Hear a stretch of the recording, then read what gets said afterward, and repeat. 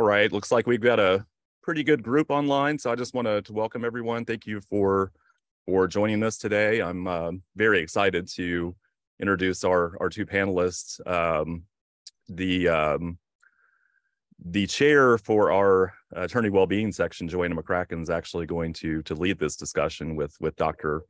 Uh, Beth Malow. Um, Dr. Malow is uh, the professor and vice chairs for academic affairs at the Department of Neurology at Vanderbilt University Medical Center and is the director of the sleep division.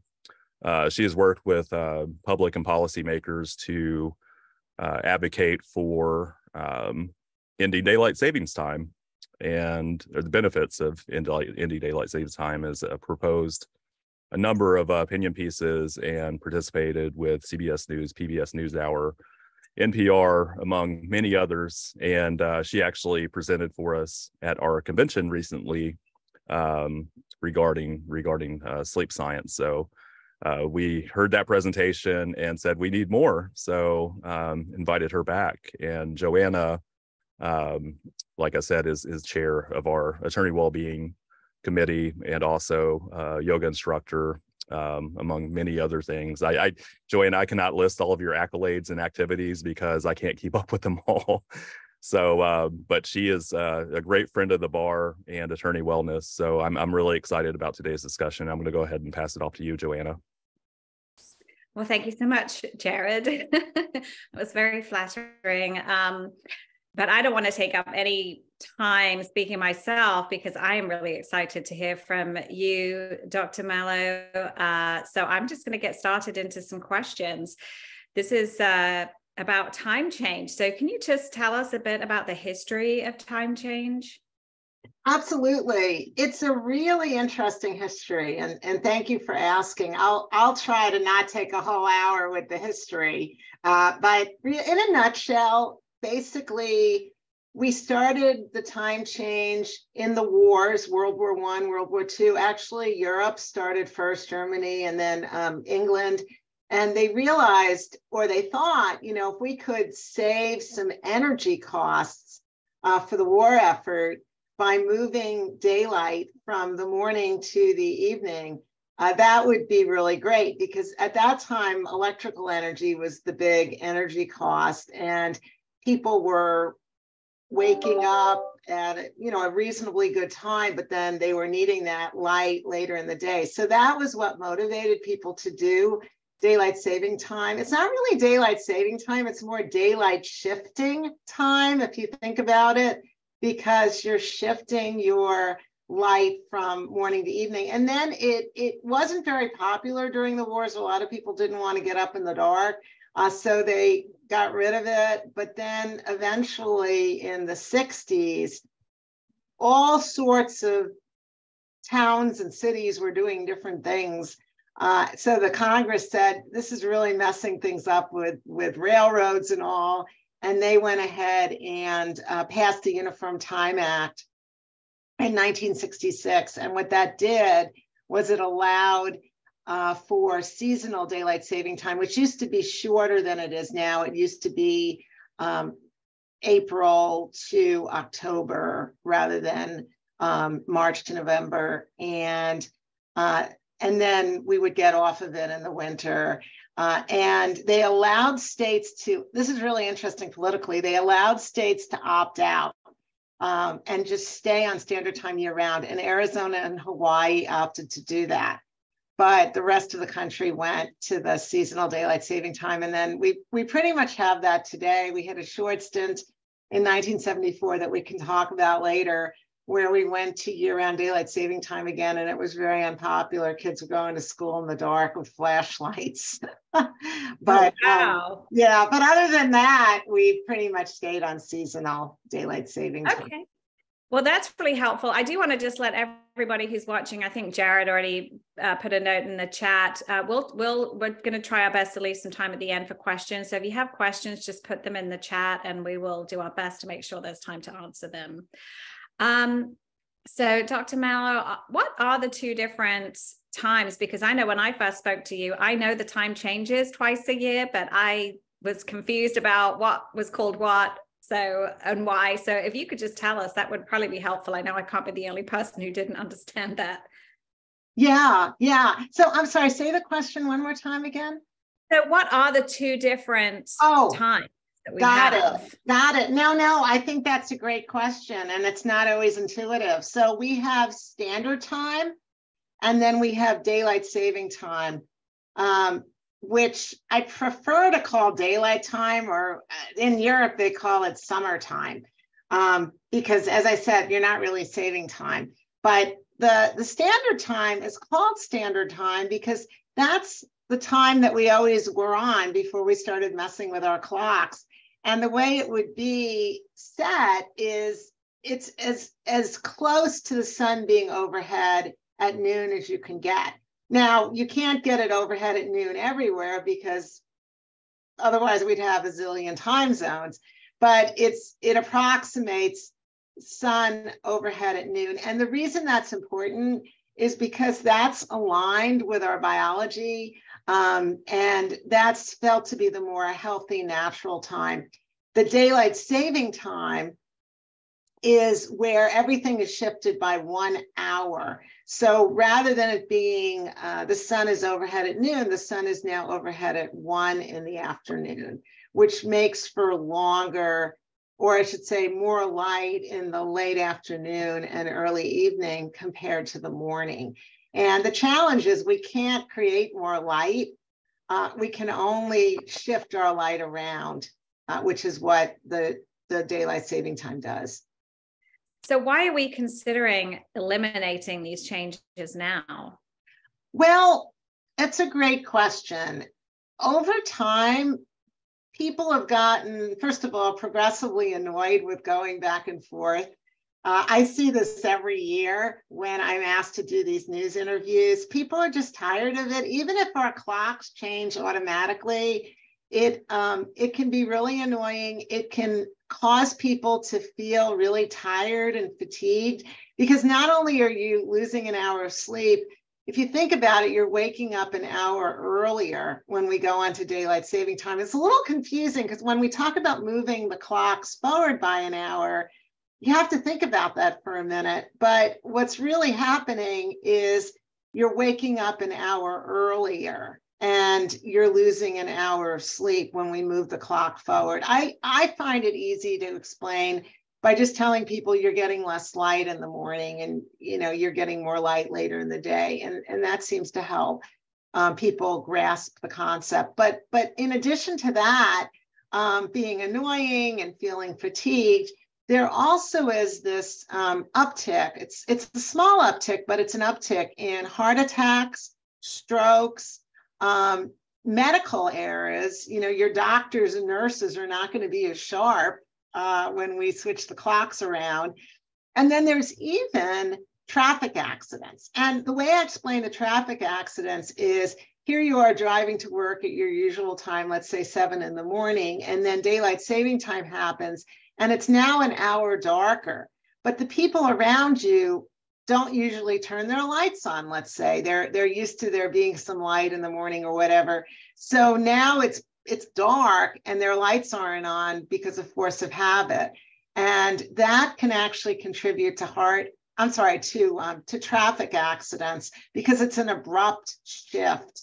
Uh, if we did it naturally and we just let it become lighter as the as the days goes on we wouldn't have that problem um, that we do with making this abrupt shift in in the clock.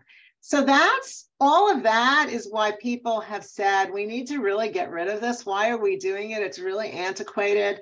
It's also not clear that it saves energy because we've gone from focusing on lighting to we now have very efficient LED lights and we use our energy 24 7 for our computers and gadgets and all.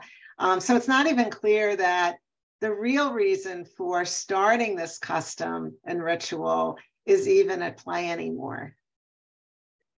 Oh, that's really interesting. Um, and so, generally, I just want to find out what the pros and cons are of, you know, having either permanent daylight savings, which is what we think of as the summer extended light in the evening time, versus the pros and cons of have going to permanent standard time, which is what we always used to have. Yeah, well, let me let me start with the um, the health aspects of going to standard time, and then I do want to. I think it's important for everyone who's listening today to understand the benefits of daylight saving time because you know if there weren't any benefits we wouldn't be having this conversation. We would have gotten rid of it a long time ago and gone to standard time. And and it's it's i think important to to, to know it's a trade-off. Um, now as a doctor as a health professional i truly believe the benefits of standard time outweigh the benefits of daylight saving time. And i'm joined by I don't know, 20 or so medical health organizations. There's a lot of sleep doctors and, and medical doctors, even the American Medical Association recently endorsed uh, year-round standard time, permanent, we call it permanent standard time, year-round standard time. Um, the reason for that is it's not just that acute jolt to our system in March. We're really one hour off for most of the year until we go back to standard time in November. And we just aren't getting that light in the morning that we need. We we're getting like an hour less of light if you think about it, because that morning light aligns, first of all, it aligns our brains with the outside world. You might have heard about circadian rhythms or biological rhythms. We need that light to align our hormones, to align our brains, all of the different functions in our body. And then light also wakes us up, it boosts our mood. People who have a seasonal affective disorder or seasonal depression, they need that light in the morning. We give them uh, light boxes and we ask them to use them in the morning because that's when it's most beneficial. And then it even, that light even helps us when we go to sleep at night. It helps the light in the morning aligns our brain so that we can get to sleep in an early hour, you know, a good hour at night. Um, so that's that's why you know it maximizes sleep and and without going into too much detail, we know that sleep improves uh, weight control, it fights obesity, diabetes, heart disease, uh, it boosts our immune system. We're more productive and happier when we sleep. We're less apt to send that tweet or email that we might regret later when we've gotten a good night's sleep. So, I mean, I could spend an hour on the benefits of sleep. I'm a sleep doctor, but I'll just leave it there and say standard time optimizes morning light, which improves alignment with our brains in the outside world, which improves sleep. So, on that note, um, Dr. Malow, if uh, if we were to go to permanent daylight savings time, um, would that mean, you know, that we would be waking up in the dark for school and for work at certain yeah. months of the year?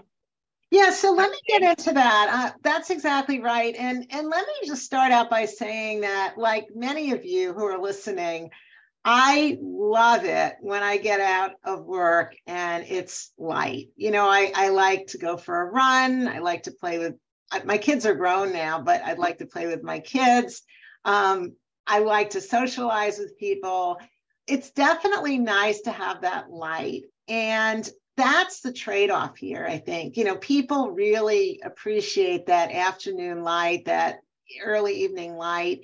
And um, that's what you get with daylight saving time. Um, however, I'll make two points. First of all, the light is still there. It's still going to be there, even if we go to standard time. A lot of people just assume because it's dark in in March or whatever, you know, with standard time or whatever, that it's going to be dark in April, May, June, um, in the early evening, the late afternoon, but it's not because as the days go on and we get from spring into summer, the days get longer. So we are going to have light. I looked it up. It's like fairly late, like eight o'clock or later in East Tennessee and seven o'clock or later in um, most of the rest of the state. So, you know, deception number one or, or idea number one is we still will have a fair amount of light in the late afternoon and evening, even on standard time. And then, as you say, the, the trade off is if we want our light in the afternoon, if we want maximal light under year round standard time in the afternoon and evening, we're going to have to pull it out of the morning. We can't have it both ways. So, what happens is it's not a big deal most of the year, but if you look at those winter months, November, December, January, February, we're talking about dark mornings. And I, again, you can go to the, um, you can go to these websites and look up in your city what it's going to be like in January. And I've done this. And, and for example, in Chattanooga, it's going to be 10 to 9 in the morning before they have sunrise in the middle of January. And that's really dark, especially when you look at schools and a lot of schools start at 7 7.30 so these kids are going to school in the pitch black um, for much of the winter and um, that's something that is what in 1974 when we tried it as a nation it was it went from i think being like the popularity was in the 70s i think it was like 79% and it fell to 42% among americans the daylight saving time 42% um, in two months. There was that precipitous drop of 79% to 42% because people did not want to send their kids to school in the dark and they were sending them to the schools with flashlights and this was when school started at 8:30, right? And now it starts a lot earlier. Um, so I think that's the biggest reason. Or if you're you're someone who has to get up and be somewhere uh, at 7, 7:30, uh, an essential worker, firefighter, medical professional who has to be at the hospital or the clinic seeing people, um, police, school teachers, uh, farmers, all of these essential workers are going to be waking up in the dark if we went to year-round um, daylight saving time and that's not healthy you know for the reasons i discussed. And we certainly don't want our firefighters and police and doctors and teachers to not be awake and alert right? So that's why i think we should we should be on standard time. Just as an attorney who has court hearings at 8 8 30 9 o'clock in the morning i don't want to have to get up and be going to those when it's still dark um, either. It's um and you want to be at your sharpest right? You want to be completely you want to be at your sharpest yeah, yeah. Um, so uh you've testified for Congress, so I think it's you know I, already see one um, question that we'll we'll be asking um, that I think is probably relevant to this. So, what is going on in Congress right now regarding this issue? Yeah, great question. So, last year when I testified, it was in March of 2022. The um, the Senate uh, actually, well, there's so the Senate and the House um, the Senate actually had actually passed year-round daylight saving time. It was called the Sunshine Protection Act, but the House did not. I testified for the House, the Energy and Commerce Committee, and that was a great experience. Oh my goodness, I respect lawyers so much for the work you do and and having to do all these testimonies and and and all in court and all I um, I really appreciated that the House committee members asked some great questions of me. I focused on the health aspects, um, but um, I think that after hearing my testimony, I was very pleased. They decided that they wanted to not act, not pass year round daylight saving time, but try to get more information, including on energy costs, including on uh, what was going on with commerce and all. Um, and they they really did take the health aspect, seriously, even though they were the Energy and Commerce Committee. So that was really heartening to me. Um, but as I said, the Senate did pass the uh, Sunshine Protection Act because only the Senate did and the House did not. The legislation uh, ended at when when Congress ended its session. So now we're in a brand new session uh, that started in January 2023. And again, the bill has been introduced. The bill has been introduced by um, Senator Rubio about four or five years in a row, and it it just doesn't seem to get the traction that it needs. Again, it's it's working its way through committees, and people are looking at it, but I think the challenge is it's not interestingly enough political diversity, it's more geographic diversity. So people on both sides of the aisle are pro daylight saving time or pro standard time. I mean, there's there's people on both sides, but it's more where you live. Uh, so, for example, just like Chattanooga would see sunrise at 10 to 9 in the morning in January under year-round daylight saving time, Indianapolis would see sunrises at 9:07 a.m., which is super early. Um, and the reason is because, like Chattanooga, they're on the western edge of the time zone. Uh, they're on the western edge of the eastern time zone. Um, Michigan is in a similar boat. Um, Minneapolis, some of the Dakotas. So, so the idea here is that parts of the country are really going to be um, affected, even more so than others, by the um, year round daylight saving time and the dark mornings, particularly. Uh, and that's why I don't think this is going to go anywhere soon uh, because a lot of people, even apart from the health benefits, these public safety issues that we talked about with the kids going to school I mean, even if you made school start times 8:30, which is what we're trying to do as a nation, uh, we can't. It's still going to be dark when the kids are getting up and getting ready to go to school, uh, and that's in the winters. And that's why I think um, this is going to have to be done more on a like uh, region regional approach, which is what we've we took in Tennessee with our legislation that we would do it as a region as opposed so, to a state. So that that um, brings me to my next question. I know you have testified at the state level. Can you tell us what's going on in Tennessee at the moment? Yeah, I can. You know, I was really really pleased with how things went this year. We I I introduced um, a we introduced a bill. Um, Senator uh, Heidi Campbell and uh, Representative Caleb Hemmer, both from both Democrats from Nashville, although we also had um, significant um, Republicans in the committees we testified before who are quite um, supportive of year round standard time. What's interesting is that Tennessee passed the year round daylight saving time back in 2019 when there was a lot of momentum going on in Congress. Um, and we had to talk to the same committees that passed that. So we crafted the legislation in such a way um, where we were not saying we're overthrowing or overturning your legislation from 2019. We just want a path forward. So that legislation can still exist. And should the federal government be successful in getting all the states on board and everybody aligned to, to have permanent year-round daylight saving time, great.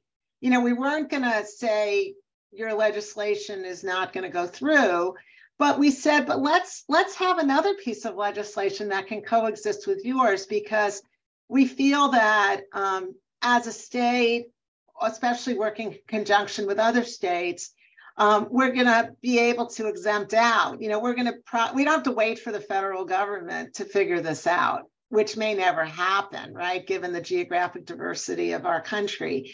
Instead, Tennessee, in conjunction with our um, neighboring states, can decide to opt out, end the clock change, which everybody wants to get rid of, and land on year round standard time, because that's what the Uniform Time Act from 1966 stipulates. We, we can exempt out as a state and do that. Um, so that was our argument. And it really, I think, went fairly well. We got through the Senate committee. We were going to have a floor vote on the Senate. We also um, got through a, a, major subcommittee of the House. Um, we didn't make it through a subcommittee of, you know, a full committee of the House. And honestly, I I think it was a combination of things. I think that the focus in our legislature turned to, um, you know, after the tragic Covenant um, shooting, tra- really turned to that issue, and which I get. I mean, I I think that's where they had to put their attention, and also I think that like we were trying to explain our bill and that it wasn't going to counteract the bill from 2019 we were trying to explain that to legislators and they were getting a thousand emails right a day on on gun safety and gun reform and all. Um, it was it was not a great time to advance a daylight saving time bill um, or i should say an end daylight saving time bill um, so we're going to also make it clearer in the next um, legislative session that this this bill is truly not intended to get rid of what has been passed already. It's just an, another option for people moving forward who want to end daylight saving time and are getting frustrated with the federal government not acting. So I know that's a long-winded explanation, but I wanted to provide that, particularly if anyone is listening and wants to help. Um, I have my email up here, bethmallow at gmail.com, and I would be thrilled to have you involved, we writing your legislator or testifying or whatever you know suits your fancy, um, because we we really think this is the best, healthiest option for um, Tennesseans going forward? Yeah, I mean, I, you know, like the rest of most people probably um, always wanted to wish we could keep the um, daylight savings because who doesn't love like long summer evenings? I mean, but what you're saying is we're still going to have long summer evenings. It's just going to end like an hour earlier, which is it's still going to be light for a long time. Um, and uh, the reason that you and I got connected was because I personally got extremely interested in in sleep. I'd had personal sleep issues. My husband had had personal sleep issues. So I really wanted to understand sleep. And there aren't that many sleep scientists out there. And I ended up reading a really brilliant book um, called Why We Sleep um, by a, a British sleep scientist, Dr. Matthew Walker. And that after reading that, I changed everything around how I sleep. Sleep is like I prioritize it. It is, and it has remained my absolute priority because once I understood the how important your circadian rhythm is, how much that impacts every aspect of your health, well-being, longevity, like your physical health, mental health, your mood, just absolutely everything even down to these things like whether or not you gain weight like it just uh, it was really staggering understanding that no other creatures wake up to alarm clocks just human beings. And i can say that i've now got my sleep schedule and sort of sleep routines down to the point where i maybe use an alarm once every couple of months and it has to be like i'm going to the airport or something. I don't ever need an alarm clock. I have got that down. Um but i imagine that if it starts if it's dark i always wake up when the sun's coming up. And so like that's a natural thing. So you know i'll have to go back to using an alarm clock if my body has to start waking up during while it's still dark outside. And that concerns me having done my own research on that um, I do want to. I'm going to go ahead and ask one of these questions just because I think it's it's pertinent to what you were just talking about, and this is such a critical sort of issue right now. Um, so, it, uh, one of the questions is: uh, You seem to be advocating for permanent standard time, but my understanding is that most politicians who are addressing the issue are pushing for permanent daylight saving time. Why is that? Yeah. So I I think there's both going on. I mean, when I look at the different states and what's happening with legislation, there's definitely bills for permanent standard time and permanent daylight saving time. I think we're we're seeing more in the news because um, you know the the Sunshine Protection Act, the Year-Round Daylight Saving Time Act, has been um, put forward nationally um, by uh, Senator Rubio, and that's in the news. Um, but I, I do think there, um, there is arguments on both sides, and as I said, it is bipartisan, which is is pretty exciting in these days when it's it's hard to agree on things. Um, I do think the politicians who are in support of year round daylight saving time, um, I do think that there does tend to be sometimes a momentum where a certain number will be in favor, and then other people will be like, well, let's go ahead and just do that because it really doesn't matter what we do. And maybe that's easier because other people are doing it. You know, there's that. Um, and then I also think that um, it's a little deceiving this this idea that like right now we're on daylight saving time almost eight months of the year from March to November. So people are like, well, why don't we just stay on it? Because then we're on it 12 months as opposed to being on standard time from November to March. And now we want to go to standard time the whole year.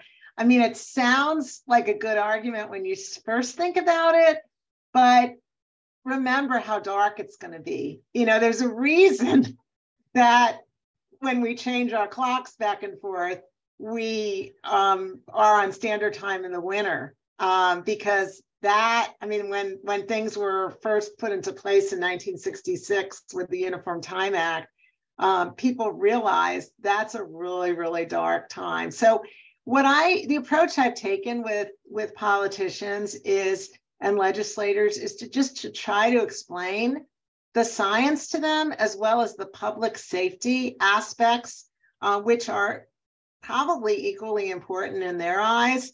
Um, and when you explain it and and you actually, as we did, talk about um, what's happening with the light, you know, because a lot of times it's hard to even figure out what it means. Um, I've had politicians say i've heard them say that when you turn the clocks ahead you're gaining an extra hour you're actually losing an hour but it's it's not always intuitive so explaining the science explaining the public health aspects explaining and showing them data on how dark it will be in the mornings and as i said it's really really important i think to show that under standard time it's not going to be dark at 4:30 in the afternoon. you know, that's one of the beautiful things about spring and summer is the days get longer. And um, I think that making those arguments um, carries a lot of weight and, and goes a long way. So, um, what's uh, speaking of the different times, what's I mean, what times will it get light and dark in the different parts of Tennessee. This is for the Tennessee Bar Association. Um, if we stay, if we, you know, go to permanent daylight savings time or permanent standard time.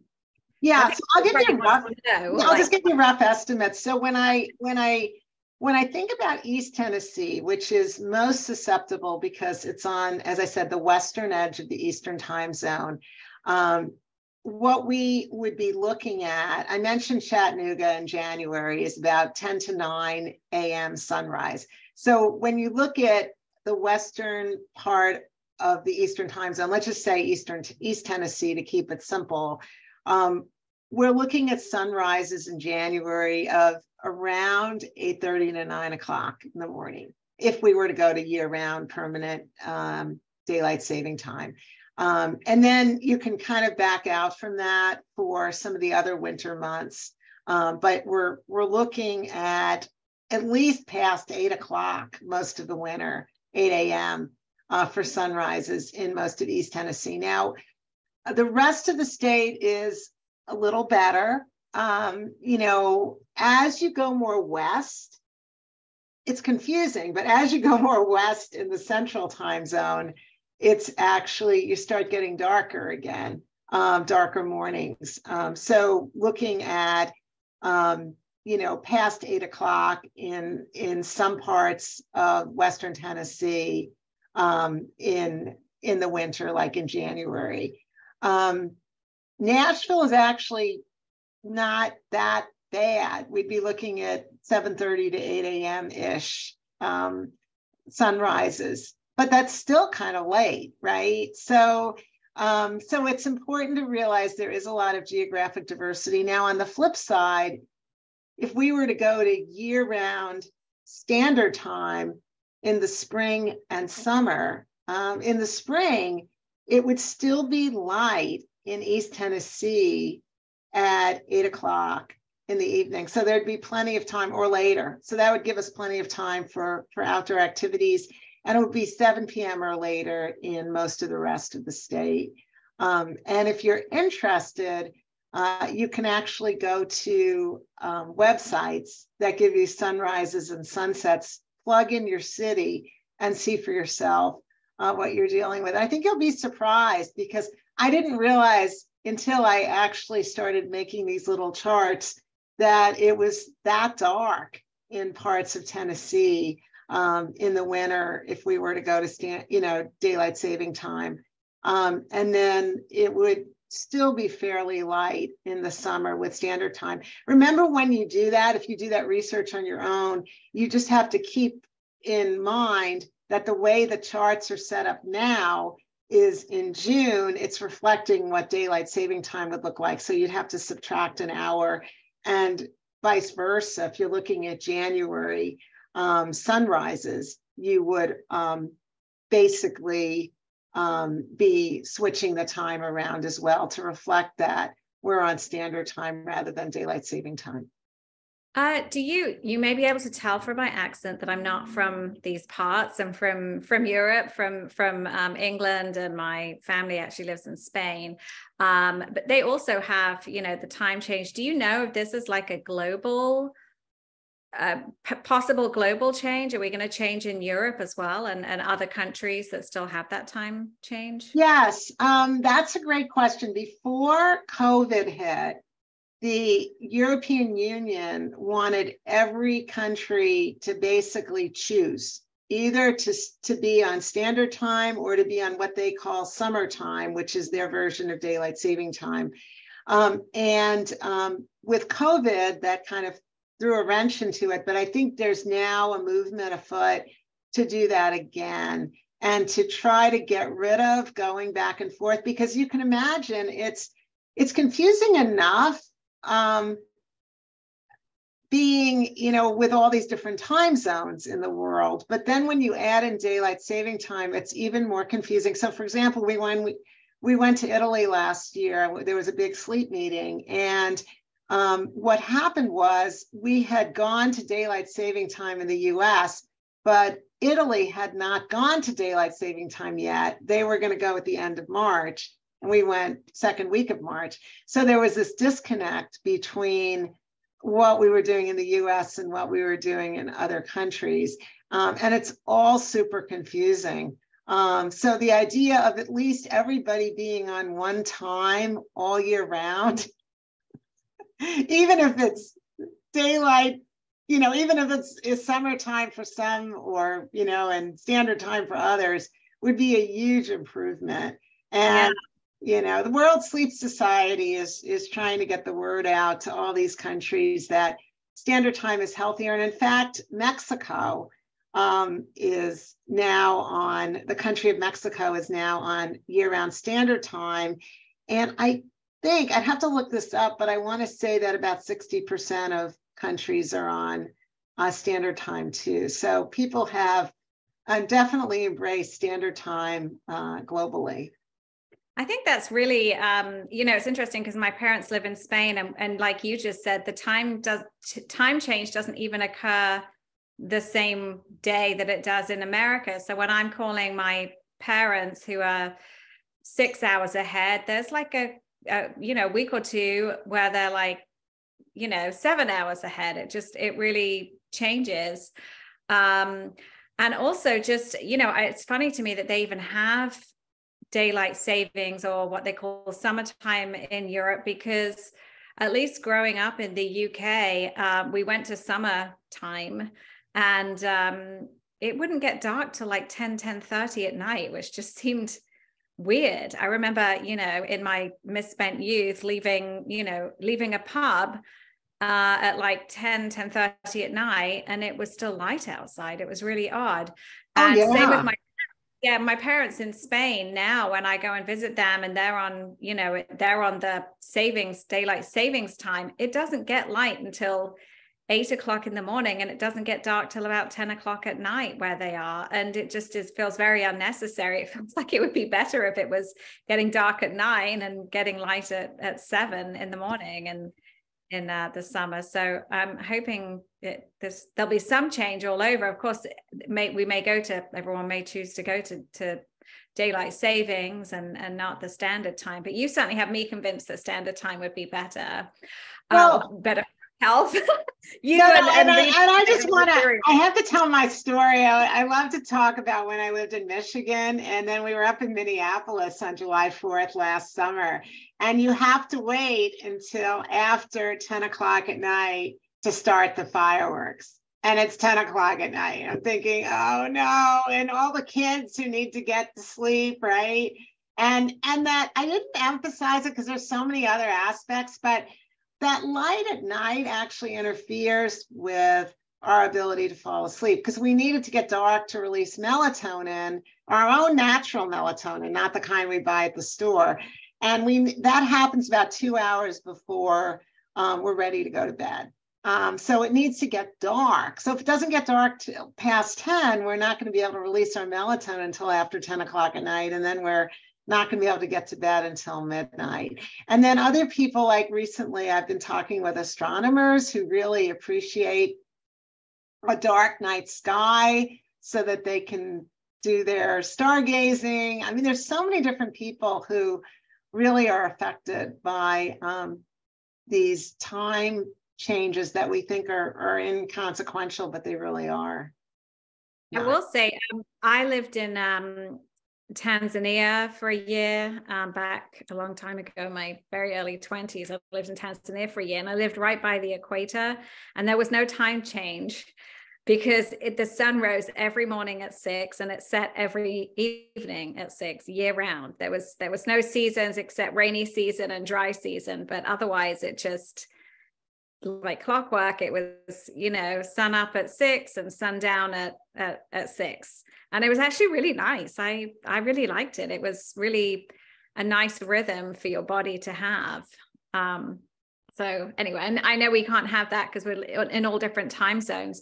And on that note we actually have a question. Um do you have an opinion on reducing the number of time zones in the us or increasing them maybe. Yeah know. yeah you know that's a well the the challenge with reducing them is then more of us are going to be off kilter. Like i mentioned the western edge of the time the eastern time zone western edge of the central time zone. So if you have fewer time zones you have more people, more population who aren't really getting that sun overhead, right? At noon, they're way not getting that overhead. And some people, um, there's a uh, an author named Gentry who actually has published on it's less about the time change and more about where you're living in your ideal time zone. Like if you're in what he calls an eccentric time zone where you're not quite where you should be, you know, the sun is way not overhead at noon, um, it's going to have health consequences. He specifically studied traffic accidents. Um, but others have studied, you know, this idea of, of being, not being where you should be, um, not having the ideal um, sun overhead at noon situation. Um, so I think having fewer time zones would be more problematic some people have questioned whether adding a time zone or rearranging the time zones could have some merit. Um, for example, do we want to think about going to, you know, the East Coast? I mean, should parts of the East Coast be potentially in, in an Atlantic time, right? And then have five time zones and then rearrange things so that you don't have, for example, um, a lot of the country that's um, you know, in Eastern time zone. I mean, I think we all love Eastern time zone, and it came to be because everybody wanted to be on the same time zone as the major Eastern state cities. But um, it may be actually healthier for people to be in a time zone that aligns better with the um, with the light. So I would say more time zones rather than less. But then you're dealing with, I mean, it's already confusing, right? To have four time zones. Uh, so it's a again, it's a trade-off. Yeah, I think it, and uh, you know, America being made up of states is, you know, then each state. Well, it's interesting as well because not like uh, not all states are in the same. A single state could have multiple time zones, as we know in Tennessee, um, which I've always thought was interesting. And as far as I know, in, in Europe, it's not that case. Like, not every European country is on the same time but each country i think the whole country is on the is on the same time um i may be wrong about that but as as far as i know um so that's yeah uh, i think let me just think about that for a minute i know that um yeah different countries will have different time zones. And um, I think like Russia tried to have all of the same time zone at one time, and it was really unpopular and they actually got rid of the one time zone which is you know unusual for russia i guess to do something that focused it uh, focused on the health and well-being of their citizens but they did and it was it was good i mean in a way. So i think that um, you know there are some really quirky things in europe with time zones um, if people want to dig deeper and, and, and look on the web on that um, but a lot of it is geopolitical and different countries having wanted to be aligned with other countries at various points in our his, in their history. Um, so they they could end up in the wrong time zone. Again, always think about if you want to keep keep it simple, it's it's where the sun is closest to being overhead at noon is is standard time, and that's what we want to do with the time zones too. That's fascinating. I never realized that that was, I've always wondered like what decided standard time in the first place. And it makes total sense. The sun being overhead at noon. My kids, my parents always told me growing up, that's the hottest part of the day is noon because that's when the sun's overhead.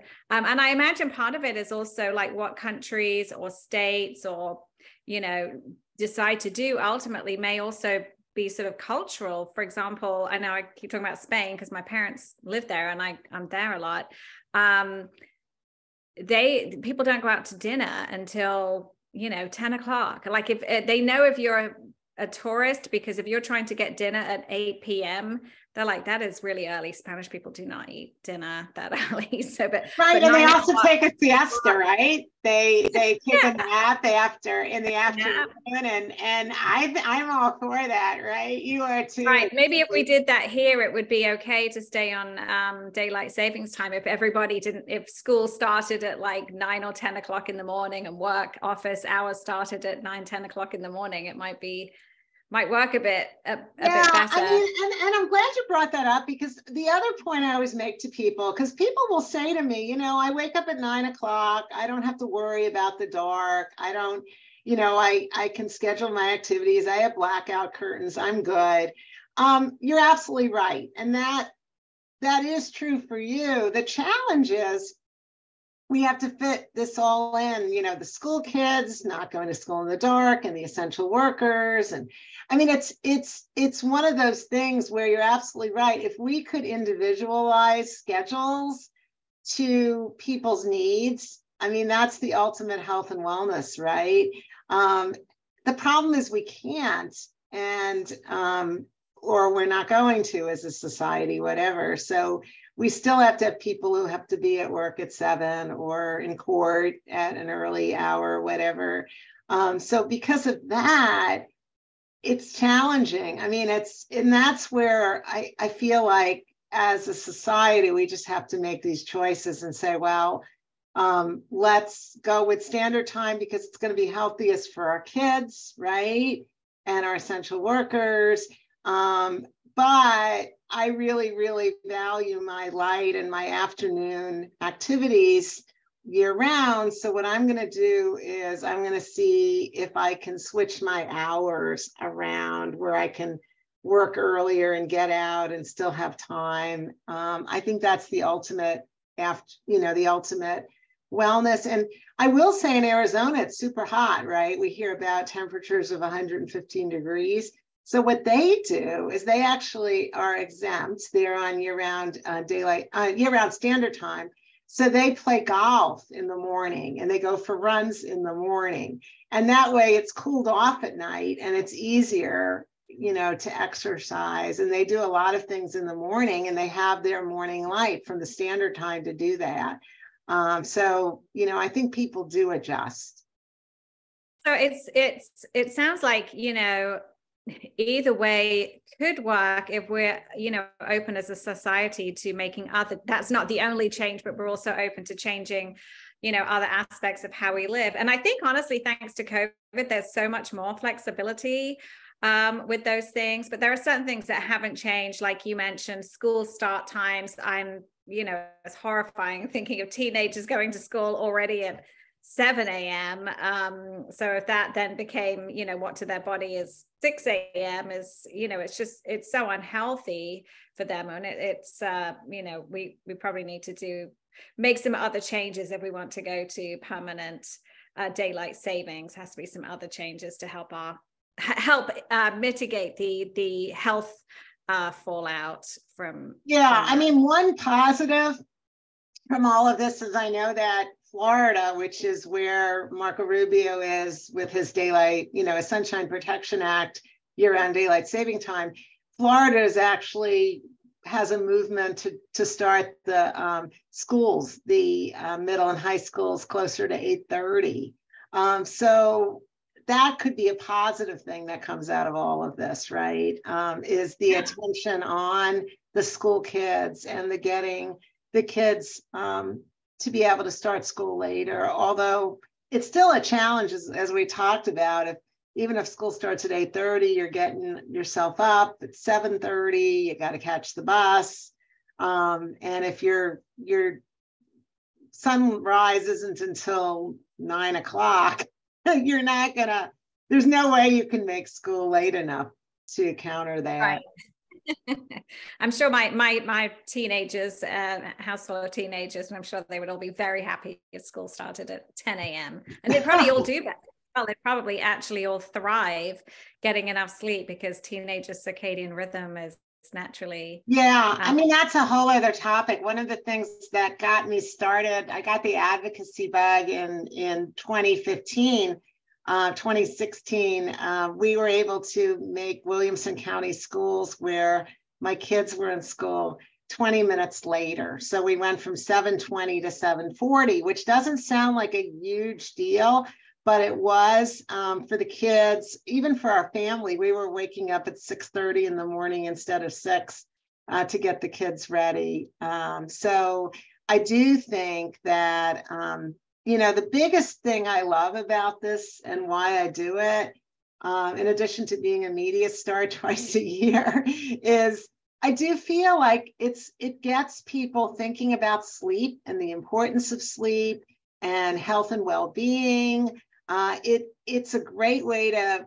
to get people turned on to sleep, even if they listen to me and say i think i think i like the daylight saving time. And i mean at least they understand it. And as long as people understand it i i can't argue with that. I just i just want to make sure you know people understand that when we move the clocks around it it does have health consequences yeah, and I think that's it. I think it's making an informed decision. I think at the moment, so few of us are, are even informed about what what it means, what the implicate, what all the implications are. And we've only got a, a, a couple of minutes left here, Dr. Malow. So the last thing I just wanted to ask you is, um, you know, if people do want to approach the legislature about their concerns or support for either one, how would they go about that? Yeah, so um, we have a small group of concerned uh, healthcare professionals in Tennessee, and I'm also joined. I mean, I've got some advocates from disabilities communities. I've got Joanna as, a, as an ally as well, as you've heard. I mean, if you want to reach out to me, or you could reach out to Joanna if, if you're comfortable with that, Joanna. Um, you know, and you can connect them with me. Um, we are planning to reintroduce uh, this bill in the next legislative session next January, although um, it definitely takes um, some time, prep time to get sponsors and everybody lined up. Um, and uh, we would be very eager to have anyone on board, you know, ranging from look over the bill, make sure it makes sense to people, especially with your law background, um, writing to legislators, testifying to legislators, having small group discussions with people. Um, there's a lot of different things. Getting sponsors, finding, I'd love to get some uh, Republican sponsors because it, it's not about politics. It's not Democrat versus Republican. It's it's um, you know it's it's about health and well-being for the Tennesseans. So um, you let me know if feel free to reach out to me. My email is right here, bethmalow at gmail.com, um, or you can reach out to Joanna, and we'd love to have you involved. Great. Um, yes, yeah, so Dr. Malow, as she said, her uh, email address is on her screen, next to her screen name. Uh, mine is not, but you can find me online. It's, uh, it's joanna at mccracken.law, joanna at mccracken.law. Um, you can look me up online. It's pretty easy to find me. I'd be happy to speak to anyone as well. Um, I appreciate your time so much today. Um, do you have any sort of closing comments before we we end this? I just want to say thank you for listening. And there's a wealth of information um, that we can we can share if you're interested. Again, even if you don't want to get active uh, uh, legislatively, if you just want to learn more about this, feel free to reach out and and we'll share information. And thank you for taking the time. Um, I really appreciate the opportunity to to speak with you today. And thank you, Joanna, thank you. for being such a great moderator. Yeah, and on thank the, you so much for your time. Yeah, on the behalf of the TBA too, I just wanted to thank you both. That was really, really interesting, and time really flew by um, watching it. So I, I appreciate that. Sorry for the bad pun. I had to, but um, oh, that's great.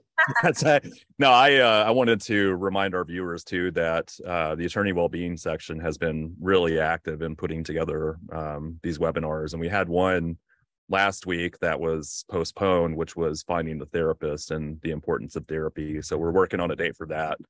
Um, so just stay tuned and check the TBA calendar because we have uh, a lot of uh, a lot of these webinars that are um, informational and fun. I think so. Um, just stay tuned and check back. And I appreciate both of you. And um, I'll certainly be contacting my legislators and uh, I guess uh, telling them my new opinion now, um, since you've, uh, you, you've you've you've changed me, Dr. Malow. You've switched you switched my position on this, so um, you know you at least have one more advocate now. Well, thank you. Yeah, no, I mean, thank you to you both. And... Same with me. I, yeah. well, thanks, Shawl, and um, I hope to see you again soon. Thanks so much, Jared. Bye bye.